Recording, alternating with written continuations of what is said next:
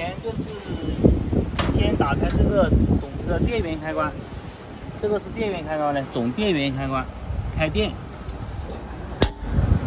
把电源开关打开，然后检查我们车的一些呃油位油位情况，这个润滑油，这个是个消耗品嘛，就是说随时要加，要打开箱子检查它的油位。要打开箱子，对，检查它的油位。然后还有一个就是底车液压油。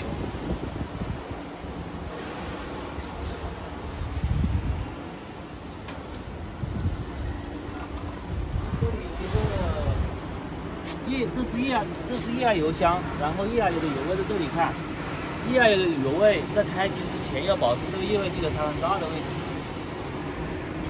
然后，然后就是检查我们的发动机。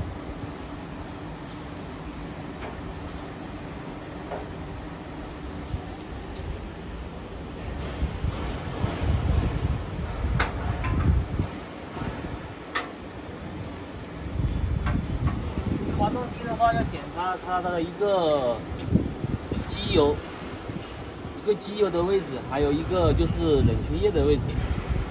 就是检它的机油量和冷却液的量够不够了。但是冷却液的话，就是这个就是冷却水箱的，这上面有个盖子，这就是检查冷却液。